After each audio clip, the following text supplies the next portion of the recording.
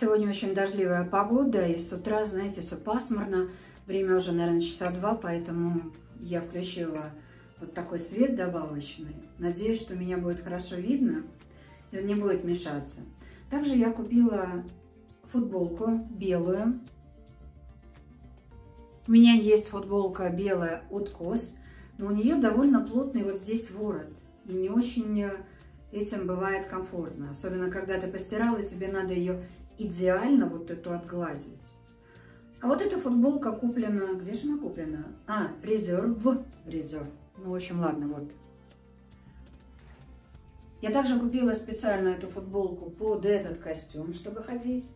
И также под, эту футбол... Э, под этот костюм, ну и не только, конечно, но в основном под него. Я купила вот такую водолазку. Производитель. И по составу я люблю такие водолазки вот с таким воротом, чтобы не надо было его. И по составу, по-моему, там было... Сейчас я не увижу без очков. А, шелк. Шелк 50 на 50. Шелк и вискоза, по-моему. В общем, ладно, вы увидели. А, купила его тоже специально под этот костюм. Ну, в основном. Здесь резиночка идет короткий рукав, и здесь тоненькая тоже резиночка. Он довольно тонкий. Надеюсь, что вам понятно. Если уже говорить про покупки, то покажу вам еще одну пару от Ара. Я, кто помнит, кто следит, следит за моими роликами, показывала вам, что я купила одну пару а, в Таллине, когда последний раз там была а, в Саламандре. Стоили они, по-моему, 118 евро, скидки не было. Э, что мне очень понравилось и привлекло, так это на мою широкую ногу. Видите, тут нет шва, там где косточка. Кожа достаточно плотная, толстая, но очень мягкая. Это вторая пара. Вот эту пару я купила э, здесь, в Риге. Тоже гуляла очередной раз э, в Акрополе. И там же саламандры есть. Но это было, наверное, месяца 3-4 назад. Я зашла и увидела вот эти же кроссовки. Кстати, у меня спрашивали э, номер модели. Я вам просто так вот покажу. Возможно, это чем-то вам поможет. Надела белую футболку, осталась в этих брюках от костюма. И надела спортивную обувь. Я думаю, что вы видите разницу с низкой, э, более низкой подошвой, то есть спортивная обувь, эти брюки, на мой взгляд, длина идеальна. Что не сказать про другую пару. И считаю, что очень-очень хороший образ, вот эти брюки, он абсолютно повседневный, буквально пере, ну вот, переодев э, верх. То есть обычная футболка, в принципе, она может быть любого цвета, но мне хотелось именно белую потому что белая обувь, мне хотелось как-то так. И даже когда я надену э, жакет, все равно это будет очень выглядеть стильно и не будет, знаете, так э, слишком вычурно. То есть, э, что я хочу сказать, что брючный костюм, вот почему я ну как сказать, не то, что не люблю брючные костюмы, я их очень давно не носила. У меня ассоциация с нашей молодостью, когда а, брючный костюм ассоциировался с классикой. Я не люблю категорически классику, она мне не подходит. Я вообще, друзья, считаю, что женщинам э, за 60, уже даже за 50. Вот, кстати, давайте это обсудим. Э, классика, она прибавляет возраста. На мой взгляд, классика выглядит стильно на женщинах до, ну так скажем, до 45, наверное. А потом уже классику э, надо как-то обыгрывать с таким более спортивным стилем. Э, стилем. Как, например, вот э, сейчас спортивная обувь на ногах, футболка. Что еще можно применить как спортивный стиль? Более классическом варианте, именно с брючным костюмом. Да и не только, может быть, даже и с юбкой тоже. э, классический костюм и с юбкой, например. Ну, в общем, вы поняли, друзья. Давайте обсудим. Расскажите мне свое мнение. Потому что вот этот вариант мне очень нравится. Три четверти рукав, закатанные же рукава, э, длина брюк зауженная чуть-чуть. Даже то, что у нее есть стрелочки, ну такие легкие, это тоже хорошо. И длина до косточки не длинная. Конечно, еще возможно, как я видела, опять-таки, это совсем длинные брюки, но они все-таки, на мой взгляд, на более молодых женщинах. Мне кажется, что нам вот в возрасте за 50 нужно обязательно открывать кисти рук. Это сто процентов. Будь это платье, будь это жакет, это даже если верхняя одежда. Кисти рук они визуально фигуру делают э, уже. Также мне кажется, что длина не длинная, опять-таки до косточки, делает фигуру э, как-то, знаете, тоже более стройнее. Ну вот как-то, это лично мое мнение, личное видение для себя. Я маленького роста, метр пятьдесят восемь. У меня сейчас 77 килограмм веса. И я пытаюсь как-то немножко, хотя бы хоть визуально, себя заузить. И вот я считаю, что кисти рук и немножечко э, короткие брюки, они делают поуже. В общем, жду ваше мнение, друзья. И, кстати, посмотрите, также здесь вот именно сейчас это украшение. Ну вот, видите, то есть вот эта деталь, она все-таки как-то, знаете, ее надо сюда тогда перевесить. И тогда будет идеально. Это украшение, посмотрите, как хорошо. А, серьги, они вот прозрачное такое, вернее, матовое стекло. Они очень ненавязчивы в ухе. Я практически, кстати, их не чувствую даже, насколько они легкие. Очень комфортные. Поэтому сто процентов, друзья, я вам рекомендую Пиджи Мурана присмотреться к этим украшениям. Мне очень-очень нравится, я обязательно весной буду использовать. Кстати, у меня есть еще одна покупка. Это э, куртка, пальто от э, Гэри Вебер. Тоже мы с вами какой-то влог, если найду его, обязательно где-нибудь тут вставлю, чтобы вы посмотрели, как я его покупала.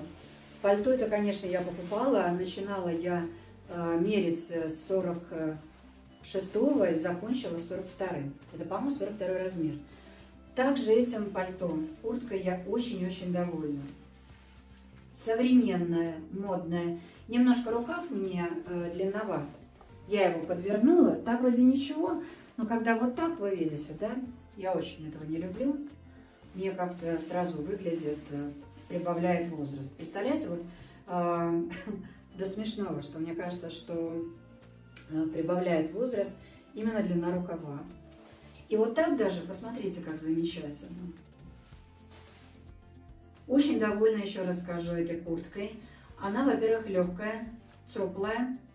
А, там на одном синтепоне. Купила я по скидке, по-моему, 115 или 110 евро. А, в магазине у них, в их магазине Гарри Вебер. И вот так, посмотрите, кроссовки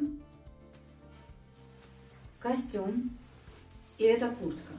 По-моему, супер. Вот, вот мне очень нравится. И сюда же можно добавить сумку, которую э, подарила мне Катя. Они летали с э, мужем в свадебное путешествие в Париж, и оттуда она мне привезла сумку. Это Гэс. Купила она в одном из, по-моему, Лафаэте в торговом центре. Э, два отделения. Я когда, кстати, была э, в Париж летала вот э, на несколько дней, я видела эту сумку. Она мне понравилась, потому что, во-первых, здесь два отделения.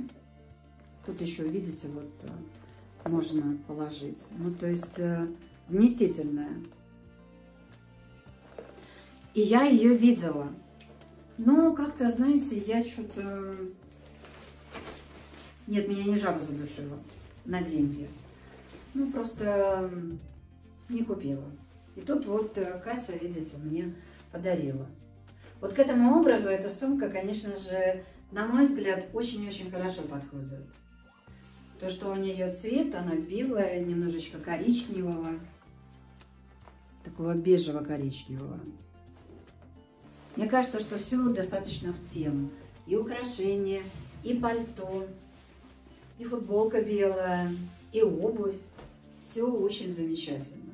И даже вот сейчас можно ходить.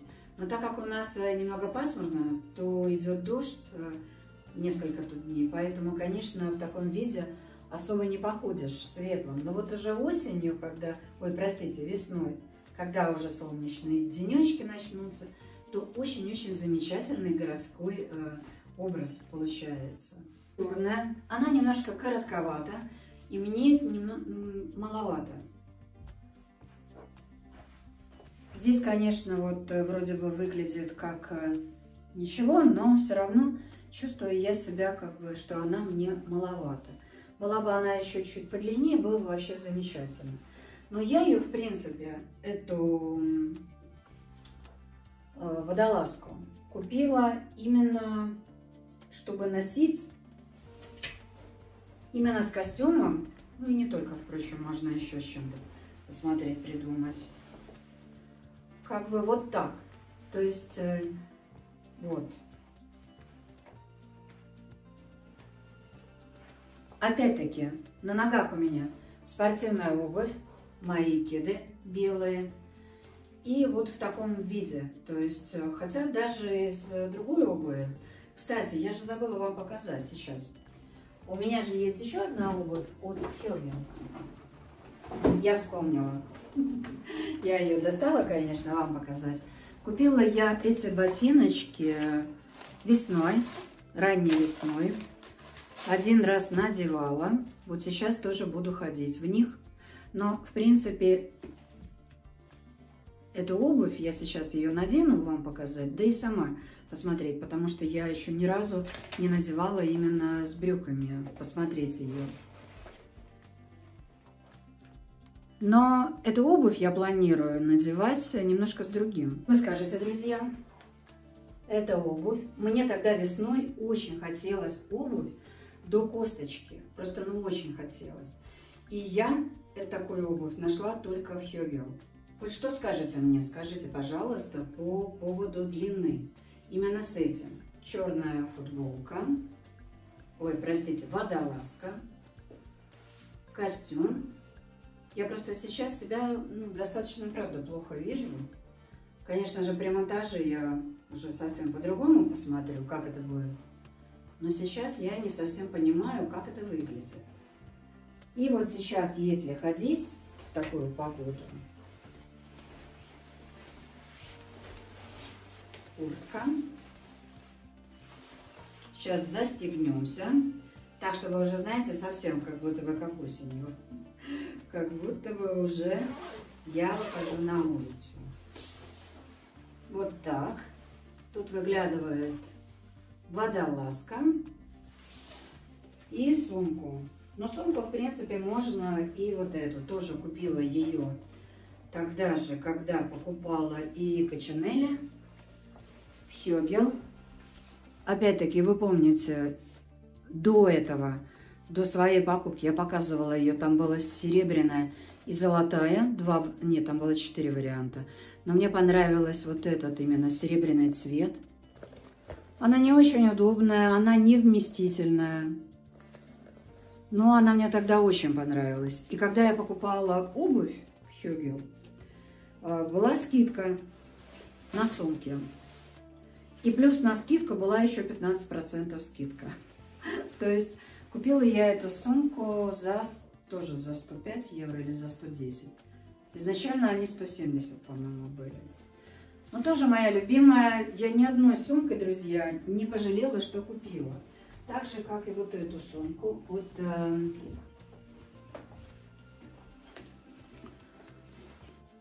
от э, Томми Хилфигера. Темно-синяя, она на вот таком э, ремне тоже ни разу не пожалела, что я купила эту сумку. Вот все четыре сумки, которые у меня сейчас есть, и которые я использую, раз, два, три, четыре, да, я ни разу не пожалела. Там были комментарии, знаете, Лена, зачем вы покупаете? э, такие дорогие сумки. Вы же в секонд-хенде можете купить дешевле. Но вы знаете, вот не поверите, за много лет, которые я э, хожу по секонд-хендам, покупаю, также и сумки, у меня прижилась только одна сумка. Это в винтажке я покупала ее черное седло. Вот только она прижилась, только ее я вижу со всеми своими э, образами. Вот даже если сейчас ее надеть с этим образом, вот эту из винтажки седло, я купила ее за 2 евро, по-моему. Вот только она э, хорошо, на мой взгляд, выглядит. За этой сумкой вспомнила, что у меня нашла, там есть тоже брачиолини сумка. Тоже очень люблю ее. Купила ее в Таллине. Даже не помню, показывала вам или нет. У меня вот так давно не было покупок. Тоже очень классная, моя любимая. Мне кажется, я когда ее купила, все лето с ней отходила. Она вот на таком ремне. Да, и так вот, вот сумка черная, кожаная, седло. Опять-таки, это благодаря вам я узнала, что называется она седло. Она, конечно, в таком страшном состоянии. Но вот только эта сумка, во-первых, мне она удобна, она вместительна, и вместе с тем достаточно легко.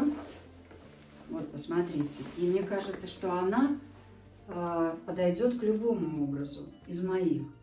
Это единственная сумка из секонд-хенда, которая... У меня еще есть желтая, не кожаная, такого горчичного цвета. А, тоже я с ней ходила много летом. Пока, наконец, вот, пока не купила брычалини. Потом она уже как-то у меня, эта желтая, горчичная, немножко отошла на второй план. Поэтому у меня не складывается с... А, у меня лежит сумка еще Тед Бакер, э, э, лаковая. Тоже купила ее в РДА. И тоже, я не знаю, куда ее деть. Э, уже, мне кажется, я говорила вам. Хотите, я вам продам за те же деньги, что купила. А, ну, то есть, у меня как-то не складывается, друзья, эм, любви с сумками из секонд-хенда. Хотя я прекрасно понимаю, что э, в секонд-хенде можно накупить, э, например, там три сумки за то же, что вот я потратила на одну.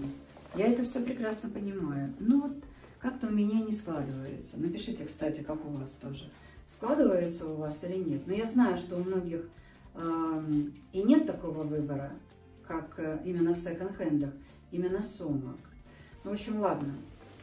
Сумка седлом из секонд-хенда. Вот такой, друзья, образ. Головных уборов у меня э, 4. Кепку не стала вам показывать. Значит, вот такая панамка. Купила я ее. Тоже, кстати, ей рада, но их, видите, надевать а, именно вот, э, вот такую, как сегодня, вчера погода. Тоже очень хорошо, посмотрите, что скажете. И если даже с этой сумкой черное седло, то, по-моему, очень хорошо. На ногах у меня вот ботиночки. Также я купила панамку из той же серии, что это, но белого цвета. Я мерила такую же в Стокмане. Она стоит 15 евро там. И буквально через несколько дней я поехала в Цесис и зашла туда в РДА. И вот э, так. И шапка. Бомбон я сняла. И также здесь вот есть, э, кто видел этот влог, когда я ее мерила. По-моему, на втором канале вроде бы, а, то, видите, здесь была такая бирка, я ее сняла. Некоторые писали, что не надо. А, шапка внутри здесь, там, где ушки есть, э, такой как баечка. Это замечательно, а то всегда, э, частенько, вернее, ушки... Уши и вот эта часть, она колется.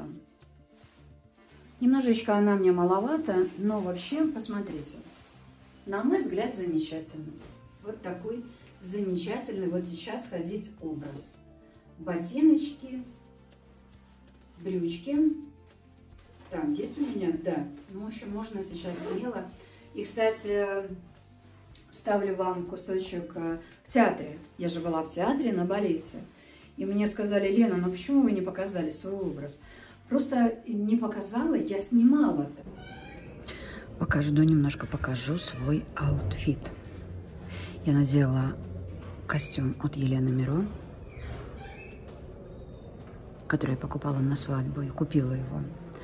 Белый топик, украшение янтарь, сумка бордовая. Как-то, знаете, мне прямо здесь очень неловко. Я себя чувствую не в своей тарелке в театре. Не знаю почему, но как-то, как-то так. Из-за того, что мне не нравится, меня смущает длина именно вот э, самой ноги и в этой обуви, которая вот на свадьбу. Поэтому мне некомфортно. Я не подумала в театр на балет надеть обувь, вот эти ботиночки. Я подумала как-то, ну, надо более, наверное, красивым выглядеть, более э, таким представительным. И ботиночки не надела, потому что с этими ботиночками было бы очень хорошо. И еще одна моя покупка. Я безумно ей довольна.